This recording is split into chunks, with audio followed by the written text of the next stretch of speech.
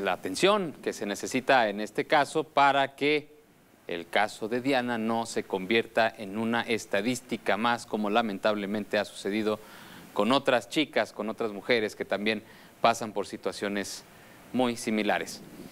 En información más amable, el pasado jueves, aquí en el espacio de Telezócalo Nocturno, con nuestros compañeros eh, Lucero Álvarez y Sergio Cisneros, eh, nos eh, llegó un mensaje para em, pues, que nuestros televidentes ayudaran a dar con el paradero de una perrita de nombre Ría de la, de la raza French Poodle.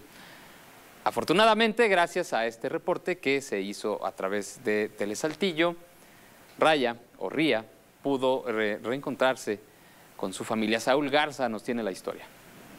Luego de dos semanas extraviada, Ria, una perrita de la raza French Poodle, regresó a casa luego de que se diera a conocer el servicio social en el noticiero nocturno de Telezócalo en su edición del jueves 20 de octubre. De acuerdo con Patricia Mares, mujer que resguardó temporalmente a Lacan en su domicilio, fue el pasado 8 de octubre que una trabajadora encontró a Ria desorientada en Parque Centro, por lo que decidió llevarla consigo por unos días mientras buscaban a los dueños.